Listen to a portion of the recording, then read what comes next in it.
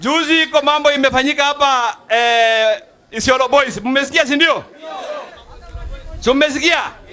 Mimi nataka kuambia wanasiasa, pelekeni siasa yenu kwa bunge na kwa senate.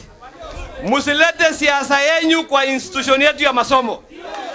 Wewe kama wewe ni Sakuye, kama wewe ni Mugabra, kama wewe ni Mborana, kama wewe ni non performer, hatuwezi ruhusu uletwe kwa mashule yetu.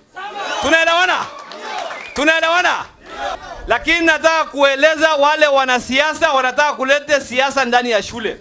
Mimi nataka kuwauliza, miaka kumi na mbili mlikuwa kwa wapi Isiolo Boys ikikufa? Mimi nauliza hawa, miaka ngapi? kumi na mbili. Isiolo Boys wakati ilikuwa recruitment center ya Al-Shabaab, where were you? Ulikuwa kwa wapi? Isiolo Boys ukiangalia toka 2022 mpaka 2024 ile result imepata imepeleka watoto wengi university. Kama wewe kama kiongozi hauwezi kuwa na simple basic information on your schools, you have no business leading the people of Isiolo County. Tunaelewana jameni? Tunaelewana?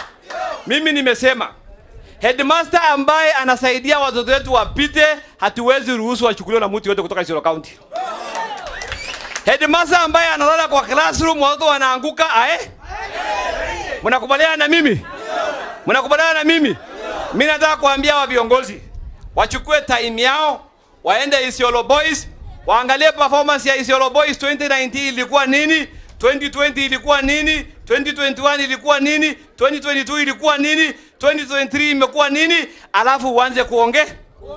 Kama hauna hiyo information, wacha kusumbua watu.